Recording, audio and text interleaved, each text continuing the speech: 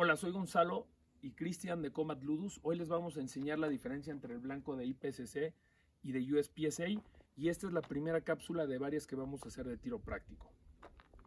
IPSC es la International Practical Shooting Association y utiliza un blanco en forma de diamante para evitar confusiones con tiro defensivo. Este blanco tiene tres zonas puntuables. La zona del alfa, que en México con la categoría minor que disparamos aquí equivale a 5 puntos.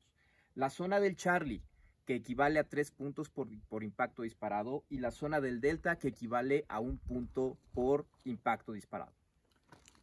Y el blanco de USPSA, que también en minor es alfa, charlie y delta, y equivale a 5, 3 y 1. Y si no le pegas al blanco, equivale a 5 puntos malos. En este caso, el blanco tiene un Bravo, que es el de USPSA, ya no se usa el Bravo. El Bravo punteaba antes igual que el Charlie y ahora ya todo es Charlie. Y el Alfa, que vale los mismos 5 puntos. Esta es la primera cápsula de varias que vamos a hacer de tiro práctico para Combat Ludus. Síguenos en las cápsulas.